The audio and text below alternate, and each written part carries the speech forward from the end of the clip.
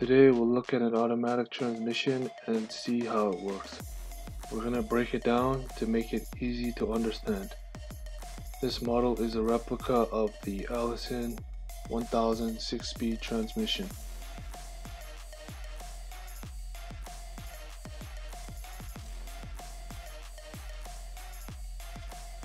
There are three shafts in the transmission.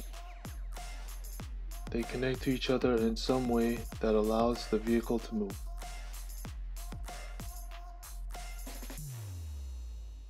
Here is the input shaft, the intermediate shaft, and the output shaft.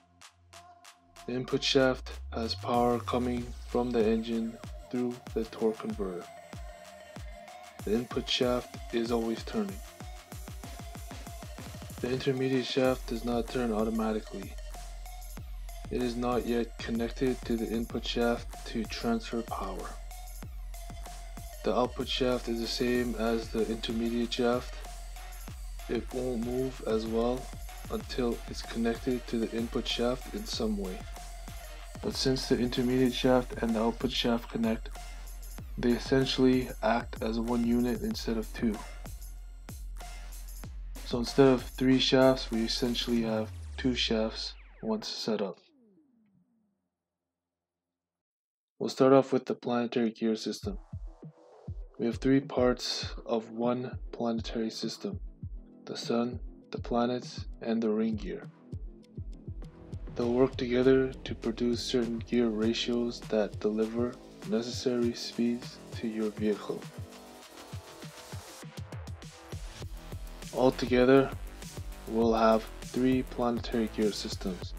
They're called C3, P1, planetary, C4, P2 planetary, C5, P3 planetary.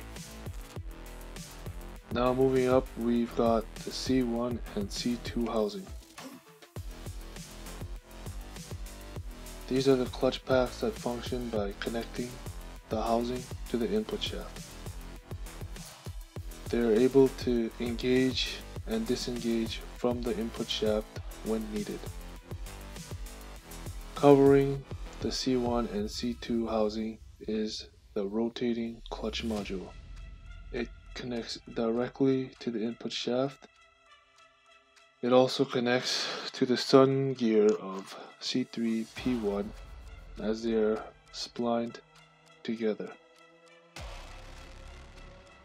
The rotating clutch module will always rotate at the same speed as the input shaft. This will cause a rotating clutch module to spin the C3 P1 sun gear that will always rotate as well.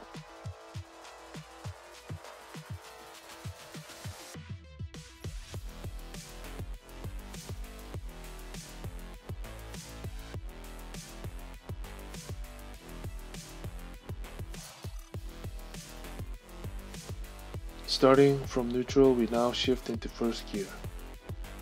Here is the chart for the clutch application. To select gear 1, we have to engage C1 and C5. In order to do this, clutch packs are used. As you can see, the red clutch disc is splined to the input shaft. It can rotate freely with the input shaft.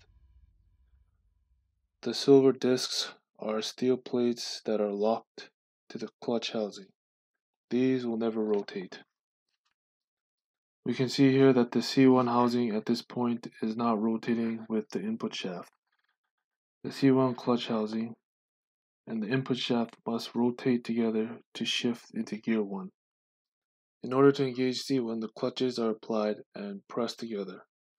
This is done from a piston located next to the clutch packs. The piston will cause the steel plates to squeeze together and stop the red clutch disc from rotating. Now that the steel plates and red clutch disc are locked together, they'll now move as one unit. This in turn will force the C1 housing to rotate as the C1 housing is locked to the steel plates, which again are now locked to the red clutch disc. So now C1 is fully engaged and rotating. It's time now to engage the C5 P3 planetary system. We must keep the C5 ring gear stationary this time. This time the steel discs for C5 are splined to the transmission housing. The C5 steel discs do not rotate. Using the clutch packs, the steel discs will close together and squeeze the clutch disc. Now the clutch packs are locked together here and will force the ring gear of C5 from rotating. This now locks the C5 P3 ring gear to the transmission housing. This completes first gear and now allows the output shaft to rotate and deliver speed to the wheels. The gear ratio for first gear is 3.10 to 1, meaning that the input shaft will turn 3.1 times to deliver one turn out of the output shaft.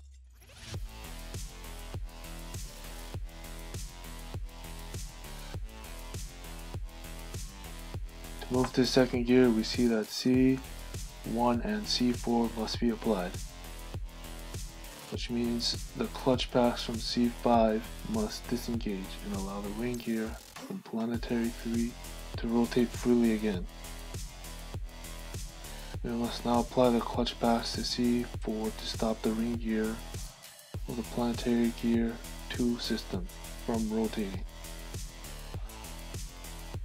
Now that the clutches for C4 are engaged, Planetary 2's ring gear is no longer rotating and is locked in place to the transmission housing. C1 is already engaged so no changes apply here. It'll continue to rotate now with C4 engaged.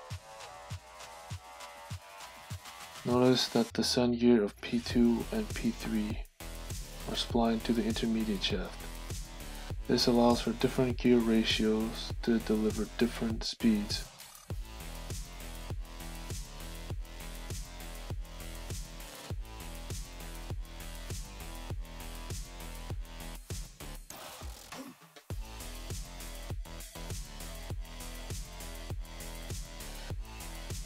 The gear ratio for second gear is 1.81 to 1. The input shaft will turn 1.81 times deliver one turn to the output shaft.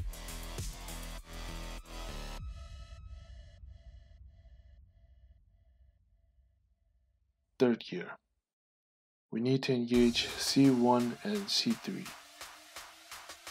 We disengage the clutch packs from C4 and now engage the C3 planetary 1 system. C1 still remains engaged. To shift to fourth gear, we need to engage C1 and C2. C2 clutch housing works as the same as C1.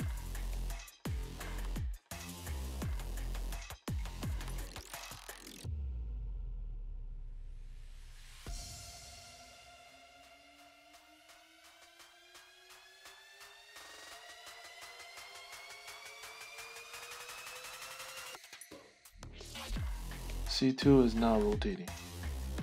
This produces a direct drive, meaning that one turn of the input shaft will deliver one equal turn out of the output shaft. Fifth gear, we engage C2 and C3.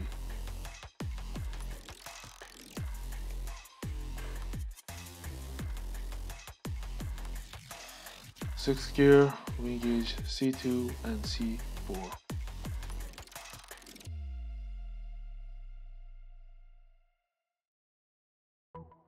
For reverse, we engage C3 and C5.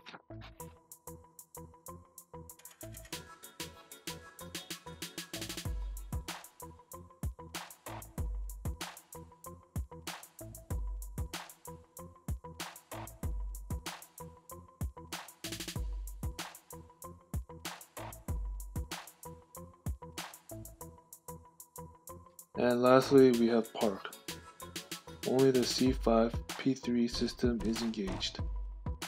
The parking pawl engages the C5 P3 system to stop the whole output from rotating. If you enjoyed this video, make sure to hit subscribe and like. Make sure to share this video. This is Automotive for Beginners, and we'll see you in the next one.